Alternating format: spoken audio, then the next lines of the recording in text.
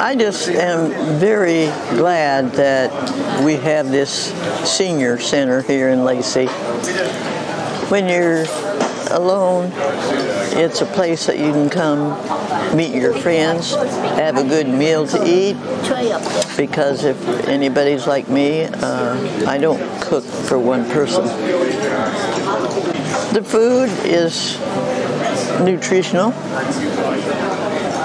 and they obviously serve plenty of it.